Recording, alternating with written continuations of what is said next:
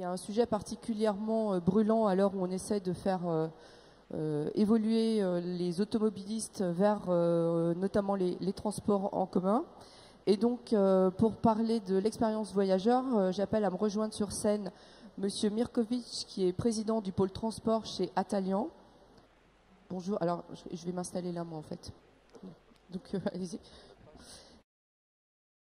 Grégoire Bonnat, qui euh, est cofondateur et directeur général de PADAM, et enfin Iba Fares, qui est directrice expérience client, donc qui est vraiment la femme de la situation, euh, marketing et services de la RATP. Bienvenue à tous les trois. Et donc, comme je disais, euh, c'est un sujet qui est effectivement au cœur de, des réflexions actuelles. J'imagine que c'est un sujet qui est au cœur des travaux des principaux opérateurs euh, de transport en commun et de beaucoup d'autres euh, entreprises qui travaillent avec les, dites, euh, les dix opérateurs et également de start-up à la recherche de solutions pour, pour améliorer cette expérience client, expérience voyageur en l'occurrence. moi, j'ai l'impression que c'est un terme qui est apparu, ou en tout cas qui s'est généralisé relativement récemment, précisément en lien avec ce besoin de faire basculer une partie euh, de ce qu'on appelle, dans un, avec un barbarisme un peu violent, l'autosolisme. Donc les pratiquants de l'autosolisme, ceux qui prennent euh, leur véhicule pour faire seuls euh, des trajets qui pourraient très bien effectuer par ailleurs en, transport en commun, de, les, de, les, faire basculer vers les transports en commun. Et c'est un sujet qui est particulièrement aigu à Paris et en Ile-de-France. Euh, notamment du fait de la saturation actuelle euh, des moyens de transport en commun.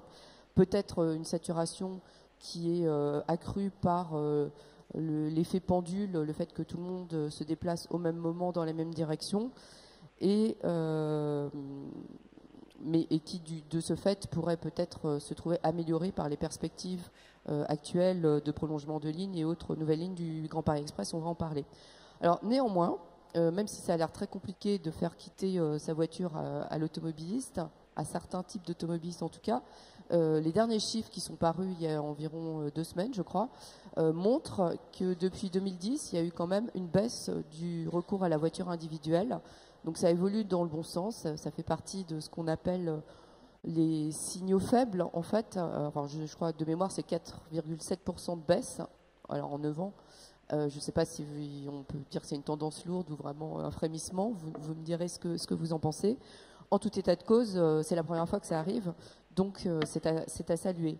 Et donc on, va quand même regarder avec ces messieurs dames où en sont, où en est l'état actuel des réflexions, où en sont les progrès sur le plan à la fois technologique mais aussi organisationnel, et surtout quelles sont les perspectives euh, parce qu'on est tous ici, en tout cas, euh, je pense, euh, en tout cas utilisateurs de transport en commun.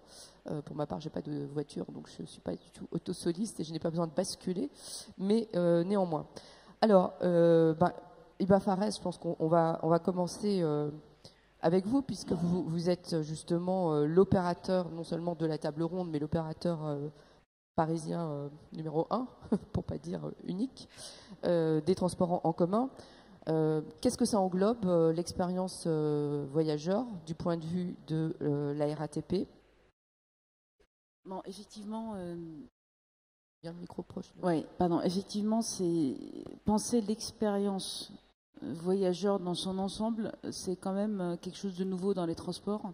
Autant dans d'autres secteurs, je, viens, je viens de l'hôtellerie à la base, c'est quelque chose qui est ancré structurellement dans, dans, dans, dans l'ADN parce que euh, effectivement, ce client, il est devant nous et, il partage avec nous son expérience.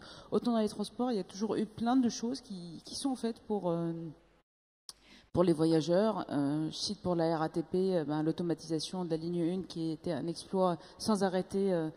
L'exploitation qui est un exploit que le monde entier nous envie et actuellement on fait la même chose sur la ligne 4.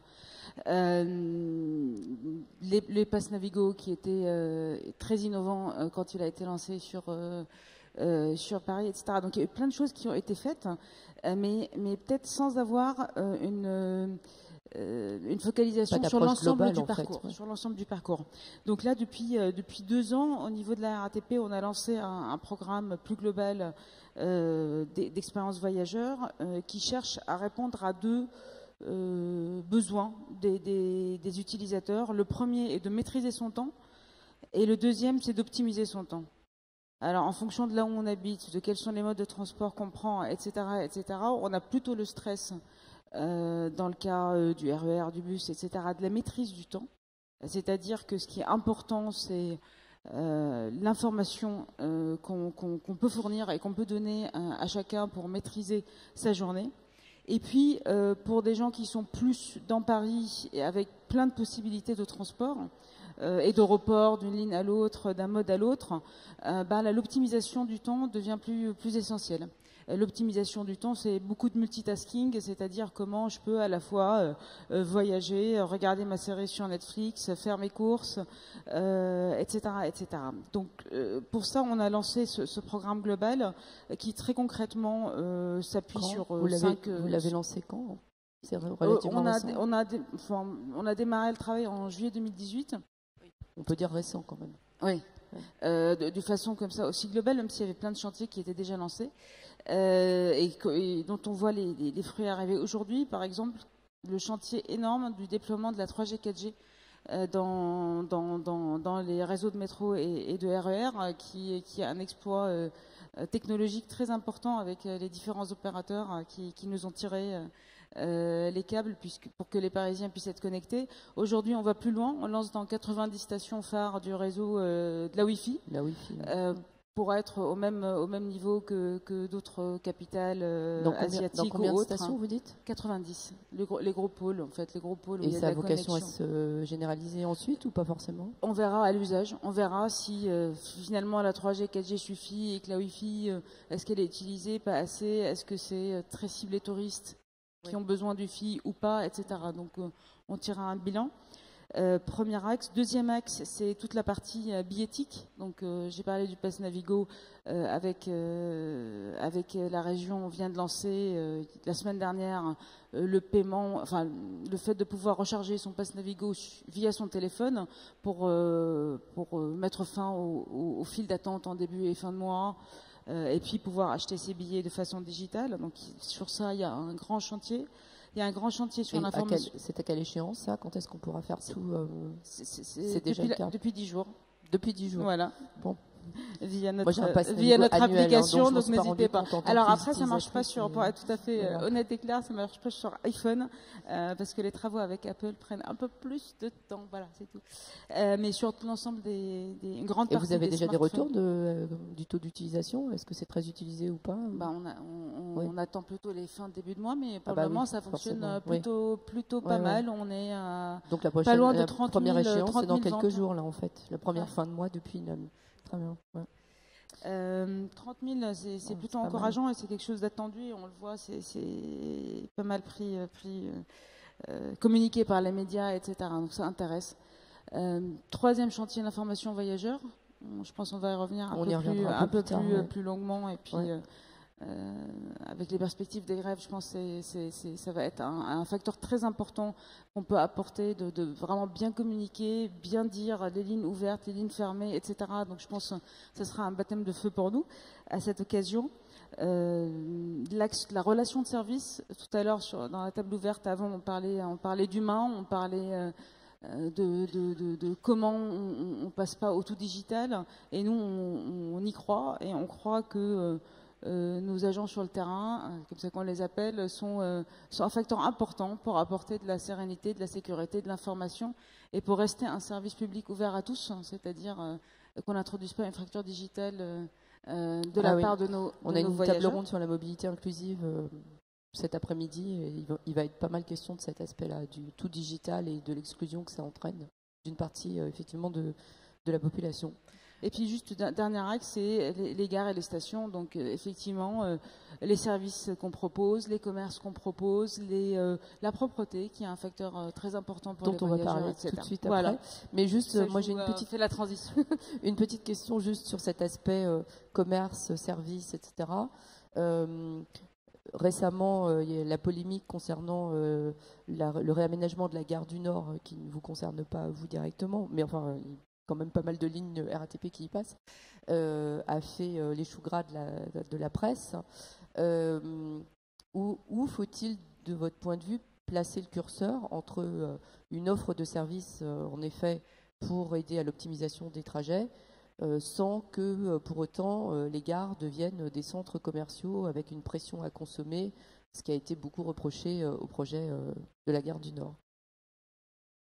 Alors, j'ai envie de dire que je, on n'est pas confronté au niveau, à la RATP aux mêmes, aux mêmes réflexions parce que nous ne sommes ni un aéroport ni une gare TGV.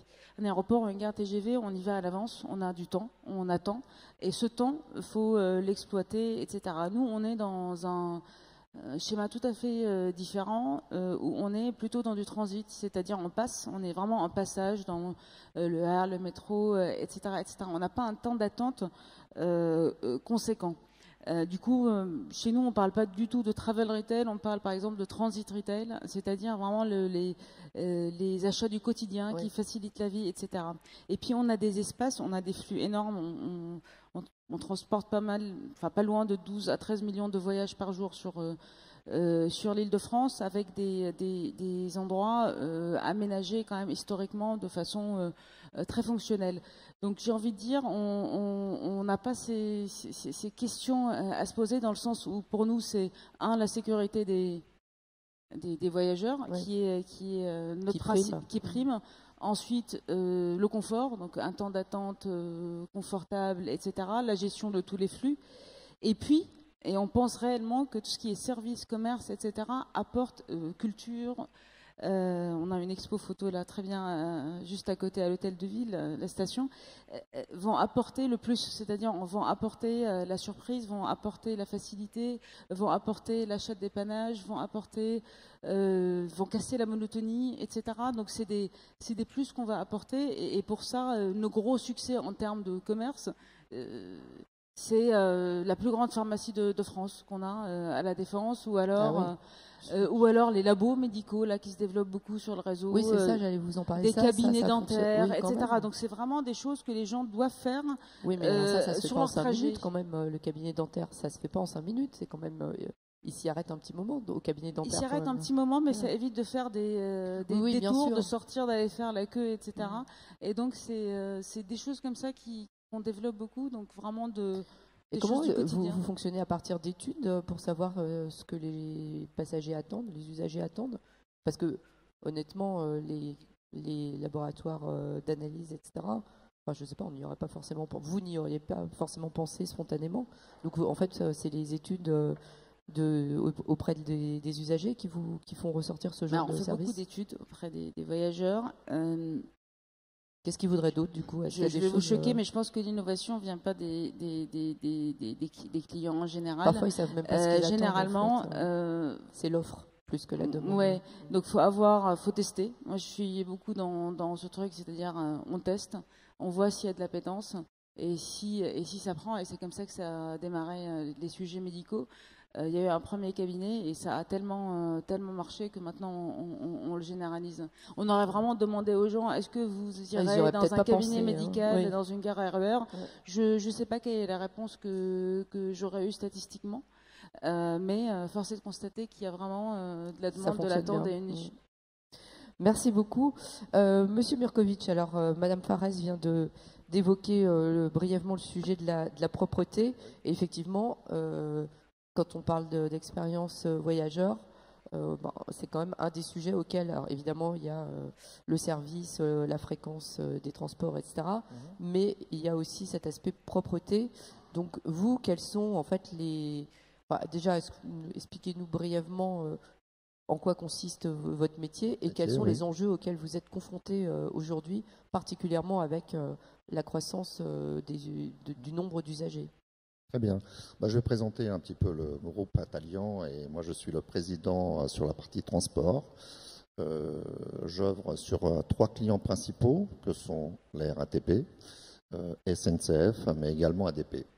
Donc on est vraiment dans le milieu du transport, que ce soit en journée ou de nuit, sur différents types d'opérations. Alors, on constate quoi, je dirais, sur notre partie de prestataires de services dans ces milieux?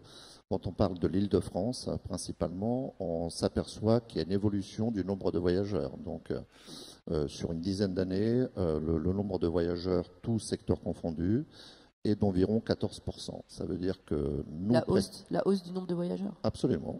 14% euh, sur, sur les statistiques sorties, je dirais, au niveau national, au nombre de voyageurs. Ce qui veut dire qu'entre nos clients, que sont la RATP, SNCF ou ADP, on essaye d'adapter en fait nos prestations en fonction. Hein, en fonction des flux de voyageurs, de ce nombre qui augmente, mais aussi des contraintes que nos clients ont euh, pour assurer ce service. Alors bien sûr, leur, euh, activité principale, c'est de voyager, de partir à l'heure et d'arriver à l'heure, mais en même temps de faire euh, ce qu'on appelle la maintenance hein, de, de, leurs outils de transport. Et nous, on doit s'intégrer dans ce process, en fait. Et toute la difficulté, toute toute l'énergie euh, que mes équipes mettent au quotidien tous les jours, c'est de s'adapter en fonction du flux de voyageurs, hein, des contraintes de nos propres clients au niveau des, au tournées euh, de leur métro, de leur, euh, de leur tram ou de leur, ou de leur train. Voilà. Donc le concept pour nous, c'est il y a une base hein, d'un cahier des charges en fonction de quelque chose qu'on doit nettoyer c'est d'adapter nos prestations en fonction de ces flux. Hein. c'est la plus grande difficulté, hein, et c'est ce qu'on s'aperçoit tous les jours, sans parler euh, sur Paris des difficultés euh, que nous avons au niveau des, incivilités ou de la partie, euh, je dirais, des, SDF qui, qui, sont en croissance et qu'on doit prendre en compte dans nos, dans nos prestations de services. Et en fait, cette hausse du, nombre de, voyageurs, euh, ça entraîne euh, bon, déjà peut-être de manière assez mathématique euh, une augmentation de la saleté entre guillemets normale, enfin de, le, sans parler des incivilités, mais en plus ça réduit peut-être votre vos, temps d'intervention possible du fait d'un allongement des durées d'exploitation dans la journée? Tout à fait. Alors en fait, bien sûr, plus de voyageurs veut dire plus de déchets, hein, euh, c'est plus de salissures. Donc on doit justement adapter avec nos clients nos fréquentiels de passage. Et en fait, en dehors du fréquentiel, c'est surtout adapter la bonne heure. En fait, on doit intervenir au bon moment. C'est ce qui se fait déjà, hein, c'est ce qui est déjà lancé euh, sur un projet. Hein. c'est parti euh, globalement de la SNCF, ça arrive aujourd'hui à la RATP, puisqu'on met un type de nettoyage en parcours, hein, c'est-à-dire que les grosses opérations sont, sont principalement faites de nuit hein, par des équipes lorsque les trains ou les métros sont à l'arrêt. Mais en journée, on s'est aperçu que voilà, euh, pour augmenter ce niveau de qualité, hein, qu'on se plaint tous, on se dit ok, comment fait-on? Ça veut dire que pendant la présence des voyageurs, bah, on est en train de mettre en place un certain nombre d'agents qui interviennent dans le parcours voyageur, euh, voilà, plusieurs fois par jour. Euh, Merci euh, pour ces, explications. Grégoire Bonnat, alors vous, êtes cofondateur, comme je disais tout à l'heure, de Padam. Peut-être nous expliquer en quelques mots ce qu'est Padam et je vous poserai des questions par rapport à ça. Avec plaisir. Je, suis conscient qu'on n'est pas la RATP, donc euh, c'est bien que je prenne quelques. Oui, j'ai pas demandé à la RATP de présenter la RATP en effet. Euh, alors, donc Panam Mobility, on est une, start-up euh, qui travaille sur le transport à la demande. le transport à la demande, c'est du transport collectif, du, transport en commun, qui peut être opéré par RATP, Transdev, Keolis, etc., mais qui est dynamique, c'est-à-dire qui n'est qui pas opéré sur des lignes fixes avec des horaires fixes, etc., mais avec des, des itinéraires qui vont s'adapter en fonction de la demande, c'est-à-dire en fonction des réservations des clients historiquement, c'est quelque chose qui est, déjà mis en œuvre depuis assez longtemps, 20 ou 30 ans, je dirais.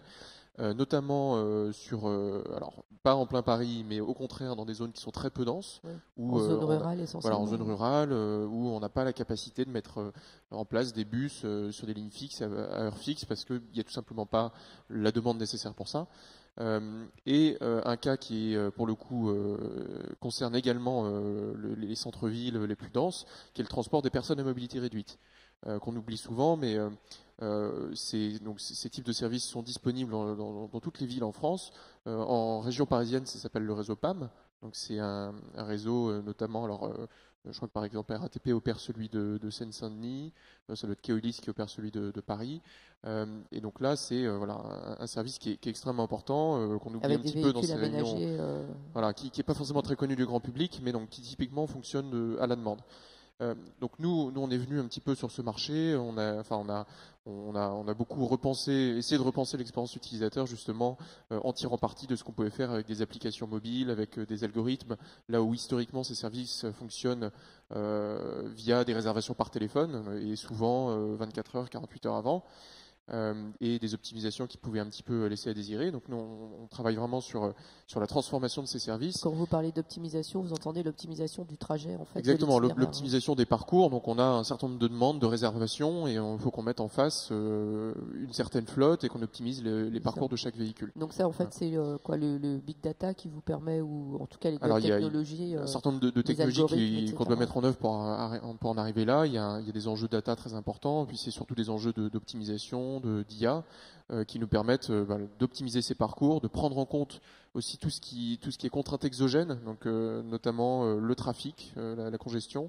Alors pas trop en zone rurale, mais quand on parle de Paris, évidemment. En temps réel, du coup. à l'avance, parce qu'on fait aussi de l'optimisation à l'avance, donc il faut déjà prédire un petit peu quel trafic, quel trafic on va faire face, puis de l'optimisation en temps réel. Il faut informer les clients, comme c'est un service qui est, qui est par définition pas fixe. Il faut avoir une information voyageur qui est irréprochable pour que ce service fonctionne bien. Donc il y a, effectivement un, grand nombre d'enjeux technologiques et c'est parce que justement on a euh, apporté des nouvelles solutions là récemment que le principe du transport à la demande est en train de croître très fortement. Euh, y compris euh, sur des zones qui un peu plus denses que ce qu'on faisait avant. Alors justement, c'est de ça que je voulais effectivement vous parler parce que quand on entend transport à la demande, alors peut-être c'est juste moi qui raisonne comme ça, mais pour moi c'est un peu opposé à transport en commun. C'est justement l'inverse, c'est à la demande. Mais alors qu'en réalité, euh, le transport à la demande tel que vous l'opérez vous aujourd'hui vient en complément euh, et même en facilitateur d'une certaine façon des transports en commun euh, tels que ceux opérés par RATP, Coelis, Transdev que vous avez cités. Est-ce que vous nous expliquez concrètement ce que vous faites pour lesquels les opérateurs de transport en commun sont vos clients? Oui, alors euh, les opérateurs de transport en commun sont nos principaux clients et le transport à la demande euh, est un mode de transport en commun en fait. C'est vraiment juste la manière dont il est opéré qui est, différente. Euh, c'est un transport en commun dynamique plutôt qu'un transport en commun, on va dire, figé. là où par exemple ça, a beaucoup de sens, c'est ce qu'on fait donc en Ile-de-France sur non pas forcément le centre de Paris, mais la banlieue. Euh, où, euh, quand on s'éloigne un petit peu, on a un certain nombre de gares de RER e de Transilien qui maillent quand même assez finement le, territoire d'Île-de-France, mais il reste à euh, l'enjeu d'arriver sur ces gares pour, pour les gens qui habitent dans les 3, 4, 5, 10 km autour de ces gares.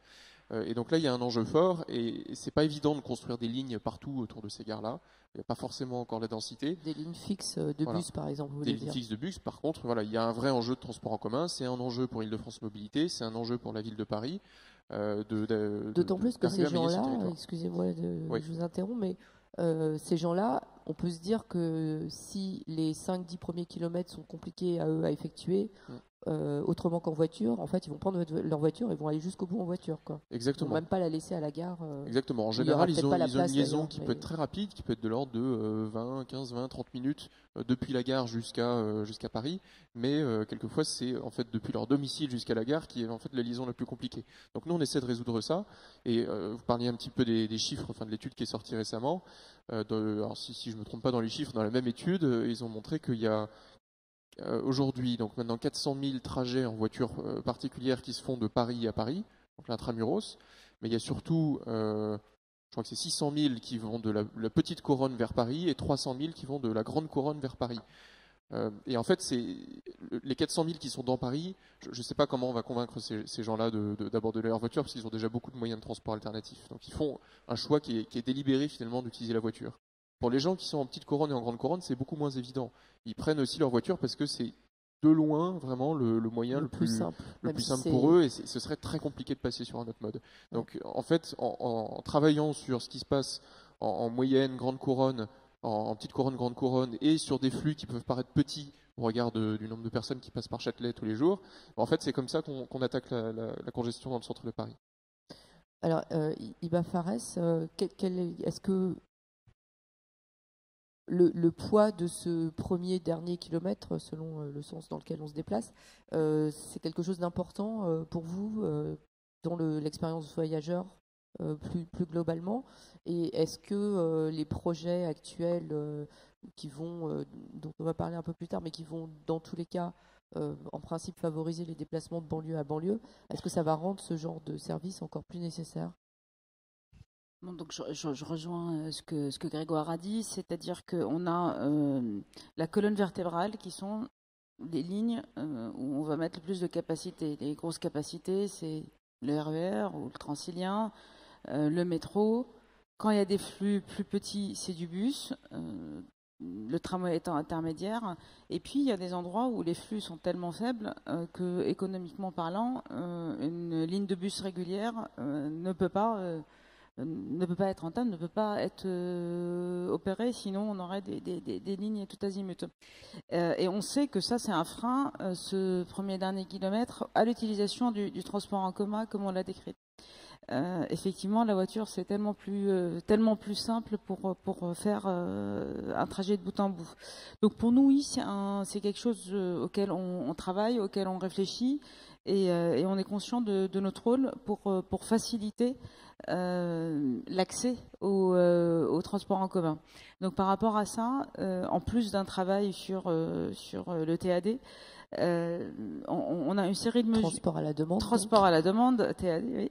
on a une série de mesures. Par exemple, on, on travaille pas mal sur la construction des, euh, des parkings à vélo euh, à, côté, euh, à côté de nos gares, Véligo ou autres. on a lancé des ateliers de réparation de, vélos dans les gares. Vous pouvez venir avec votre vélo, faire réparer, laisser la journée et revenir le récupérer. des prises de participation dans, des startups, puisqu'on pense que c'est pas à nous de de tout porter avec l'innovation, effectivement, viennent de, beaucoup d'initiatives. Euh, par exemple, on, a pris des participations dans la startup Zen Park euh, qui, qui, encourage le, le, partage de parking et du coup, laisser sa voiture dans un parking à proximité d'une gare ou d'une station, c'est aussi des, parkings privés en fait qui sont partagés entre exactement. Euh, et puis euh, il y a également euh, le, le, le, travail sur bon là on s'éloigne un peu du premier et dernier kilomètre, mais ça permet à répondre quand même à ce sujet. C'est le covoiturage. Euh, puisqu'on est également, on a pris des participations dans Claxit, qui est une des plateformes françaises les plus actives sur sur ce sujet. Donc je pense qu'il y a plein de plein de choses qui sont aujourd'hui en train d'être mises en place. Il n'y a pas une solution unique, c'est-à-dire il n'y a pas euh, le, transport à la demande ou, euh, ou les parkings à vélo ou les parkings pour euh, les voitures qui vont résoudre. C'est tout ça mis bout en bout avec une vraie Il y a volonté. Une multitude de, solutions, mais tout ça pour quand même éviter que chacun soit tout seul dans sa voiture le matin pour faire trois heures d'embouteillage. C'est quand même ça le but de, tout le monde. donc Grégoire Bonnat, vous nous avez expliqué en quoi les progrès technologiques récents euh, vous ont permis de, bah, finalement de fonder euh, votre euh, votre modèle.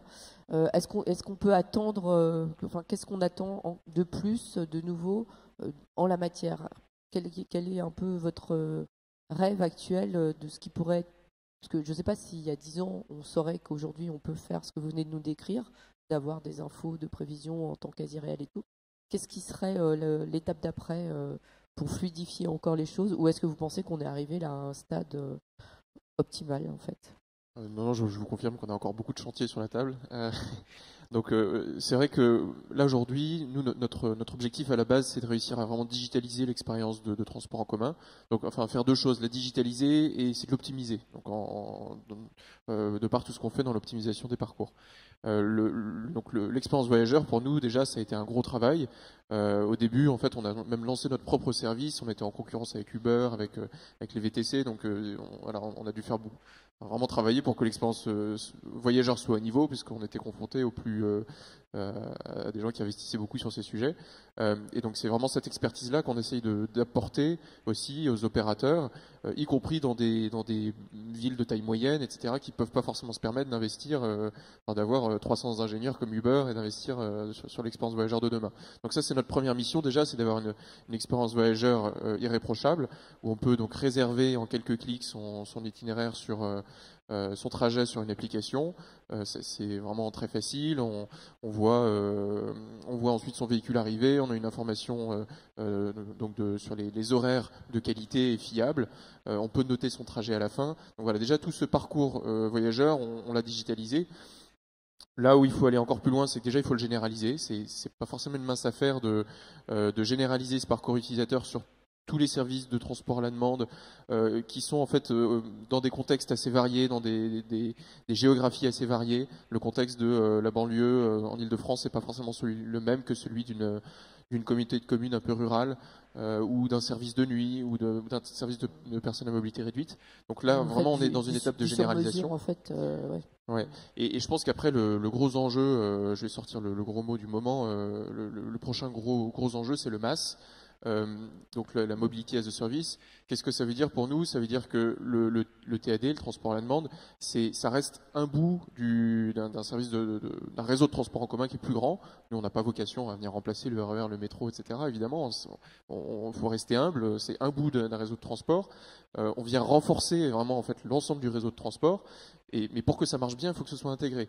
Donc, par exemple, euh, déjà, on travaille à ce que le, trajet de transport, à, la demande que vous faites, qui est en intermodalité sur une gare, il puisse euh, y avoir une bonne connexion avec le train euh, donc, qui passe dans cette gare. C'est-à-dire que même si l'itinéraire de, TAD est flexible, on s'arrange pour que vous arriviez deux, trois minutes avant le, passage du train dans la gare.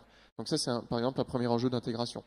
Euh, ensuite, l'intégration euh, à plus haut niveau, c'est les, fameuses applications masse, qui sont les applications qui, donnent, euh, qui, ont une vue très large sur tous les modes de transport et qui vont permettre de combiner les modes de transport efficacement et de, faire toutes les réservations en, une seule fois, etc.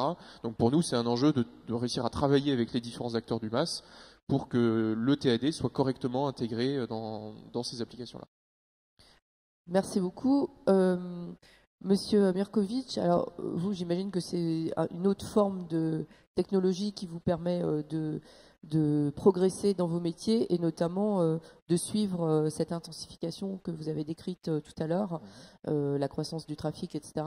Qu'est-ce que l'automatisation, la robotisation, je ne sais pas ce que qu'est-ce que ça vous permet de faire et comment ça fonctionne Alors, dans nos métiers, effectivement, ce qui est nouveau, euh, on parle de digitalisation. Nous aussi, euh, dans, nos métiers, en fait, on rentre de plus en plus euh, sur la partie planification.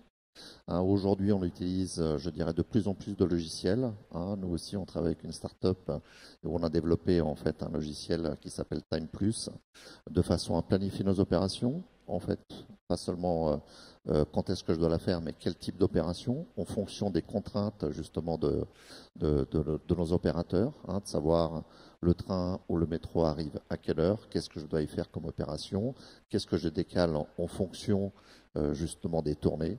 Hein. Euh, donc on adapte nos prestations aujourd'hui euh, via des logiciels hein, qui nous aident, je dirais, à opérer au bon moment. Donc ça, ça évolue fortement. La robotisation, c'est vraiment quelque chose qui est en plein essor hein, dans le métier. Hein, vous devez euh, voir euh, tous un, petit peu des, balayeuses, des autolaveuses ou d'autres choses qui sont connectées. Euh, maintenant, le tout, c'est d'adapter en fait ce matériel aux installations. Et peut-être que la plus grande contrainte, quand on parle métro, etc., ce sont les infrastructures, hein, c'est-à-dire que c'est les emplacements. Hein, on arrive à faire progresser ce matériel. Encore faut-il pouvoir y trouver de la place pour le stocker ou des moyens d'élévation pour, pour les emmener. Donc, on travaille avec nos clients sur ces sujets-là, hein, les développements des lignes, etc. Bah, on commence euh, à intégrer ces contraintes et, ces solutions de demain. Hein. Moi, j'y crois beaucoup. Hein. je pense qu'il faut adapter euh, ce type de robotisation pour faciliter le travail aussi de nos agents. Nous sommes euh, des, métiers de main-d'œuvre. on a des difficultés de recrutement parce que ce pas des métiers qui attirent. Justement, j'allais vous dire, en fait, la robotisation, c'est pas dans une dans l'idée d'avoir moins de de main d'œuvre humaine en fait euh, non. Non, du tout. Le, concept, euh, mais aussi bien de nos clients que, de nous-mêmes, c'est de dire utilisons la robotisation pour faciliter, euh, je dirais, le travail de nos salariés, pour que ces derniers aille dans les coins où la robotisation ne peut pas accéder. Hein. Et bien évidemment, une laveuse ne peut pas aller dans un coin derrière un distributeur euh, à café euh, sur, le, sur la station de métro. Donc, ce qui est important, c'est de se dire, j'ai de la main-d'œuvre, qu'est-ce que je comment je l'utilise demain en mécanisant un maximum. Donc effectivement, le robot va, nettoyer des grandes surfaces, hein, les balayer, les laver, les aspirer, mais euh, l'homme doit intervenir sur, sur partout où le robot ne peut pas aller pour des raisons de sécurité ou autres. Hein. Quand on est dans les milieux du métro ou de, la, de la RATP, euh, la sécurité, c'est quelque chose de primordial. Hein. On, passe beaucoup de temps et on a ces contraintes euh, qui sont aujourd'hui euh, essentielles dans nos métiers. Merci. Iba Fares, alors on a, parlé de, beaucoup d'aspects de l'expérience voyageur. il y a quand même un sujet à Paris et en Ile-de-France qui est la, saturation des infrastructures actuelles. Et ça, euh, quand bien même vous avez euh, de la Wi-Fi euh, et que c'est propre, si vous n'arrivez même pas à monter dans le métro, comme ça m'est encore arrivé ce matin, dans le premier en tout cas, qu'est-ce que, enfin, je veux dire, tout le reste finalement, ça devient quand même relativement secondaire dans l'expérience voyageur. Donc, quels sont les, projets qui sont aujourd'hui à, court et moyen terme? Et qu'est-ce qu'on en attend en termes de fluidification du, transport et de, lutte contre euh, cette saturation extrême des transports en commun aujourd'hui? Avant peut-être de, de, parler du Grand Paris, j'ai quelques bonnes nouvelles euh, à vous donner sur, euh, sur ce sujet. la première étant que la ligne, le prolongement de la ligne 14 vers la mairie de Saint-Ouen, on a annoncé que à la fin de l'été de 2020, euh, on aura ce, tronçon. Ce tronçon permettra. Attendu de longue date par les usagers de la ligne 13. Exactement. Donc, euh, c'est que je, répondais à ça. Il me semblait que vous parliez de la ligne, de la, fameuse ligne 13. Donc, effectivement. pas la seule. Hein. Non, non, non, mais, mais c'est une des plus euh, saturées aujourd'hui avec une, croissance, on va dire, du, du, trafic qui a été assez importante sur le nord de, de la ligne. Et cette arrivée de la ligne 14 va euh, faire baisser le, trafic, on l'estime de 25%. Euh, sur, euh, sur le nord de, de la 13. et puis, vous n'êtes pas sans savoir qu'on passe la ligne 14 de 6 voitures à 8 voitures. Donc, ça va augmenter réellement la capacité de. Quand? On est en train de faire, là, ça, ça a démarré. Euh, on fait une voiture après l'autre, enfin une, rame après l'autre. Euh, également, on a le, prolongement de la, ligne 4 euh, à Bagneux qui arrive à l'été 2021 et qui accompagne aussi l'automatisation de cette ligne qui est une grande ligne structurante du, du trafic. mais, mais, les prolongements, vous nous, alors pour la 14 et la 13, je comprends bien, mais euh, dans l'absolu, les prolongements, vous annoncez ça comme une bonne nouvelle. C'est eux qui vont permettre ensuite sur les lignes qui ah, vont venir en transversal parce que ça va quand même augmenter euh, la fréquentation en fait à court terme. Bah, et du coup, euh, parce que typiquement c'est ce qui s'est passé sur la 13 au nord. Il y a eu la ligne a été prolongée, du coup il y a encore plus de monde. Sauf que le prolongement de la 14 c'est pour, ça va au même endroit que. Bien. Mais je veux dire les prolongements d'une façon générale. Quoi. Ça fait plus de monde qui prend le métro. Alors, donc le, Grand Paris est, dessiné de telle sorte que les lignes traditionnelles vont aller un peu plus loin. Et ensuite, on va avoir euh, des lignes euh, qui vont venir connecter. Mmh. Euh, euh, donc améliorer le trafic de, donc de banlieue à banlieue en, en, augmentant les alternatives sans être obligé de repasser dans, dans Paris. Donc ces prolongements de lignes, s'ils n'arrivent pas, ce serait quand même une très mauvaise nouvelle pour, pour le schéma global. Tout, tombe, tout tombe à l'eau, du coup, ça marche plus s'il n'y a pas les, prolongements de lignes. Exactement. Exactement. et puis quand, quand on parle d'automatisation, c'est de l'augmentation de la fréquence sur, sur la ligne quand on parle de bivoiture, le type voiture, c'est c'est une augmentation de capacité, etc. Donc, c'est des projets vraiment globaux euh, qui, où on travaille sur euh, les trains, euh, les capacités des trains, sur les systèmes de, pilotage des, appareils pour augmenter la régularité, et puis sur des prolongements. C'est pour ça que c'est des projets euh, très important. Et puis par la suite, on aura euh, la 11 euh, et puis et puis la 14 qui arrivera à Orly.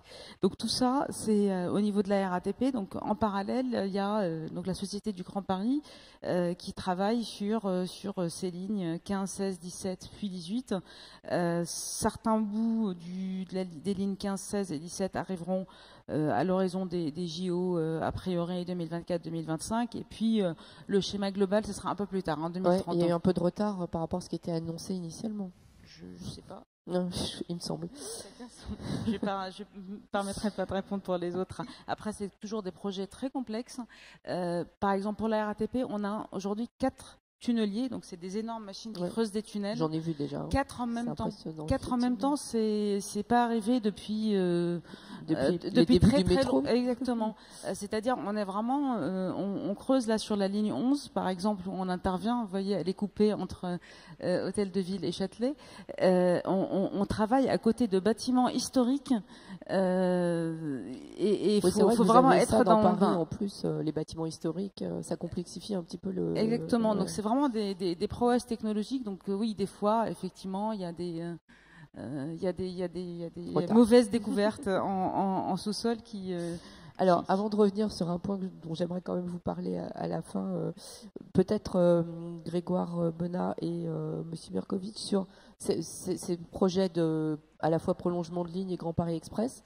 en quoi est-ce que ça va modifier euh, quantitativement, voire qualitativement, vos, métiers euh, Alors, euh, de manière générale, concernant l'île de France, on voit qu'on est de toute façon dans une tendance qui, fait que le réseau de transport en commun transporte de plus en plus de monde, il s'enrichit, et, le transport à la demande va toujours jouer un rôle complémentaire à ça.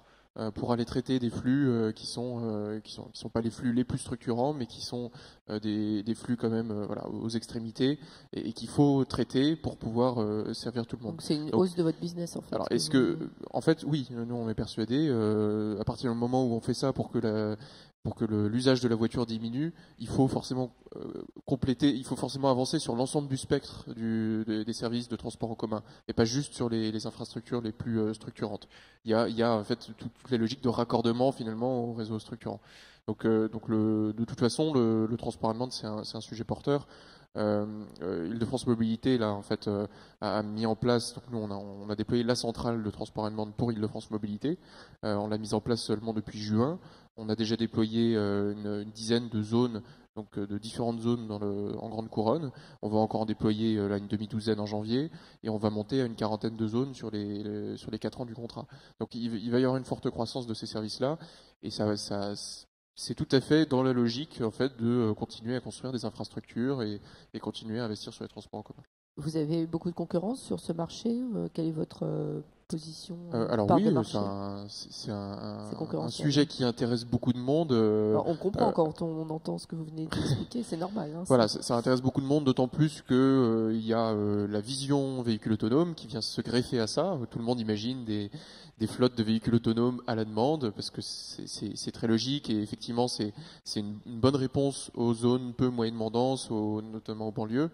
donc, donc ça fait qu'on a un certain nombre de constructeurs automobiles, de gens qui sont positionnés sur le véhicule autonome, qui investissent beaucoup sur ces sujets-là aussi. Pas toujours avec une vision très transport public, ça c'est c'est notre histoire. Donc oui, on a, un petit peu de concurrence. Maintenant, on est euh, euh, en France euh, leader là cette année sur le, nombre de déploiements de, de, transport à la demande, et on est sur un marché qui reste assez nouveau, où je pense qu'il y a encore beaucoup de choses à écrire. Merci. Euh, Monsieur Mirkovic, vous-même, euh, comment est-ce que vous anticipez cette, euh, à la fois les prolongements de lignes, le Grand Paris Express, bah, vous aussi, plus de métro, plus de gares, plus de tout à nettoyer? Alors écoutez, euh, pour nous, euh, entreprise de service, c'est du bonheur. Hein. Plus nos clients étendent, je dirais, des lignes et des services, euh, ce qui veut dire qu'ils font appel à nous pour, pour la partie, pour la partie nettoyage, notamment. Donc pour nous, c'est avant tout recrutement. Hein. On anticipe un petit peu les recrutements de nos agents.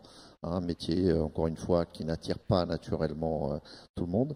Euh, donc on, arrive à, à recruter en Ile-de-France, on arrive à former les gens, puis on essaie aussi de voir ces nouvelles infrastructures, c'est-à-dire que ces nouvelles lignes qui sont construites sont globalement euh, beaucoup mieux adaptées pour nous, hein, entreprises de services. Donc on a plus, euh, plus de locaux mis à disposition. C'est plus, adapté à, vos, à vos robots, là, par exemple C'est ça, c'est plus adapté, je dirais, à notre type d'activité, ne serait-ce que pour stocker le matériel ou, euh, ou, les infrastructures pour le descendre. Et pourquoi vous, vous, êtes, vous avez été concerté sur euh, la façon dont c'est aménagé, etc. Ou alors, ce sont, ce sont des sujets réguliers euh, que mes équipes abordent avec les clients. Euh, nos clients sont conscients de, de, de je dirais, de ce fait. Essayent aussi, euh, y compris dans les infrastructures actuelles, d'adapter au maximum ce, ce, je dirais, ces locaux hein, ou ces arrivées d'eau ou d'évacuation d'eau. Euh, c'est pas toujours simple, mais c'est vrai que dans les nouveaux projets, les clients en tiennent compte, hein, en tout cas en fonction de, des installations qui sont, qui sont faites. Très bien. Merci. Alors, euh, Iba Fares, j'ai gardé un peu le, meilleur pour la fin. Euh, je voulais parler de, l'information voyageur, en fait, euh, qui est effectivement, avec la qualité de service, je pense, l'autre gros enjeu sur lequel sont déjà positionnés des acteurs tels que Google, pour ne pas le nommer. Quelles, quelles, sont vos ambitions face à cette concurrence d'une certaine manière? Comment est-ce que vous, euh, déjà, quel, est votre rôle aujourd'hui dans l'offre que propose Google, d'une part, et d'autre part, euh, sur quels euh, arguments est-ce que vous allez faire valoir votre différence par, rapport à, par rapport à Google, par exemple? Euh, déjà, quand on parle nous d'information voyageur, euh, je, ne dirais pas que c'est en parallèle de la qualité de service. Ça fait partie, euh, c'est tellement important que ça fait pleinement partie de, la, de la perception qu'a un voyageur de, son trajet et c'est limite quelque chose. En même temps, si on vous annonce que c'est une demi-heure de retard, mais tous les jours, je pense qu'au bout d'un moment, c'est quand même le problème. C'est aussi la fréquence et la, tout à fait, et la ponctualité. Tout à fait, tout à fait. On en a parlé avant sur la partie transport. donc aujourd'hui, quand on, quand on interroge euh, les voyageurs, euh, leur, leur euh, compréhension de l'information voyageur, qui est aussi la nôtre, c'est tout d'abord la première source d'information pour eux, c'est les écrans en gare et en station. Deuxième source d'information pour eux, c'est les annonces sonores. La troisième source d'information pour eux, ce sont les affichages. Et la quatrième source d'information, c'est le digital.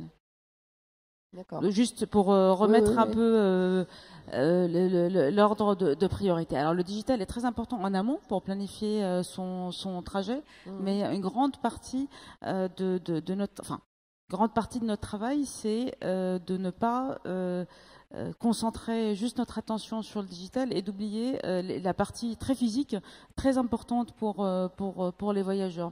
Donc quand on travaille sur ce sujet de l'information voyageur, on a un, gros challenge que n'a même pas Google, de faire que tout ça se parle et tout soit soit cohérent, fiable, pertinent, qui est pas qui est pas des, informations dissonantes, sachant que on a 27 000 personnes à la RATP qui d'une d'une façon ou d'une autre, ont une influence euh, sur l'information voyage. Je, prends par exemple un, un, conducteur euh, qui prend la parole et qui annonce quelque chose.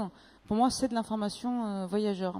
Après, on les accompagne, ces conducteurs. Euh, peut-être vous l'avez euh, senti sur la 13, mais sur, sur les RER A et B et sur la 13, on a fait des formations avec des comédiens qui, qui, sont venus coacher les conducteurs pour qu'ils soient spontanés, naturels dans, dans une prise quand il se passe quelque chose dans une rame, enfin, qui s'arrête par exemple. Et pour qu'ils osent parler, parce qu'ils ont tellement un peu des fois des, des peur, prudence, etc., etc. Euh, et au contraire, plus on parle, plus on communique, plus euh, mieux, c'est perçu. Donc, on a fait toute une série de choses sur ce monde, euh, on va dire physique, ce coaching, le travail avec nos 27 000 personnes qui, qui, s'en occupent, une refonte. le, le RERA, c'est notre plus grosse ligne. Là, on est en train de l'équiper de de très beaux écrans euh, qui, qui, rendent l'information plus intelligible et pertinente, etc., etc. Donc on a une série de choses très concrètes euh, dans le monde physique. On pense que c'est en grande partie notre rôle, mais on n'oublie pas le digital.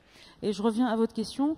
Nous, on n'a aucune prétention euh, entre nous ni de penser Google, hein, Google, ni Uber, ni, ni d'autres géants du, du, du, numérique.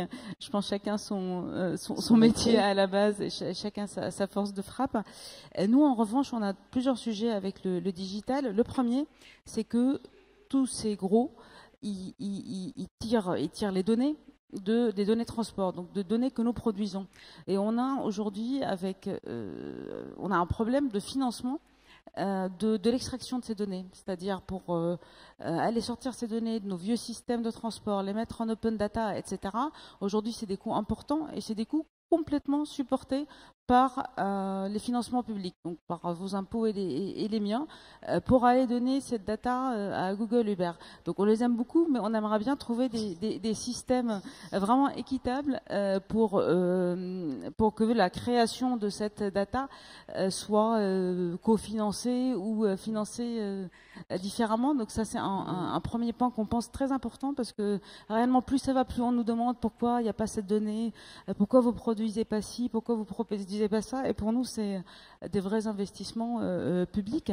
Et puis deuxièmement, toutes très les études. parce qu'on a épuisé notre temps de parole. Voilà, donc très rapidement euh, sur sur des sujets de, de, de, de, masse, d'applications digitales, etc. Tout le monde dit qu'il y aura, va y avoir deux, trois grosses applications mondiales. Je pense Google Maps en fera partie, etc. Mais on dit aussi qu'il y aura toujours une ou deux applications régionales qui vont être très importantes. Et nous, pour l'île de France, on pense qu'on a euh, beaucoup d'atouts. On a les, donc les, atouts de, connaître le réseau, d'avoir la data, et puis on a aussi des, atouts d'être l'opérateur. Donc je pense euh, quelqu'un qui a perdu son sac et qui veut le retrouver, nous seuls pourrions proposer ces services. Euh, quelqu'un qui veut nous signaler quelque chose ou, qui, veut de l'aide humaine, etc. C'est à nous seuls qu'il pourra signaler. Et puis quelqu'un qui achète de la viétique avec nous, bah, on assurera le service après-vente, alors que s'il l'achète ailleurs, euh, bah, ce sera son, sujet. Donc on pense que vraiment ce lien entre le physique et le digital euh, est une force pour euh, des acteurs régionaux, en tout cas pour un ou deux acteurs régionaux, pour, pour faire la différence. J'ai 15 secondes, j'ai juste un commentaire pour appuyer. non, c'est vis-à-vis de Google qui, qui, effectivement aime bien utiliser les données gratuites open data. par contre, les données qu'ils fournissent, notamment les données de trafic, ça, ils les font payer. Et il y a un an, ils ont multiplié par 13 leurs tarifs. Par 13 Voilà. Bon. Je crois qu'il faudrait une table ronde entière euh, consacrée. Non, mais je suis sérieuse à ce sujet. Merci beaucoup à tous les trois pour euh, votre, vos interventions. Merci à vous pour votre intérêt.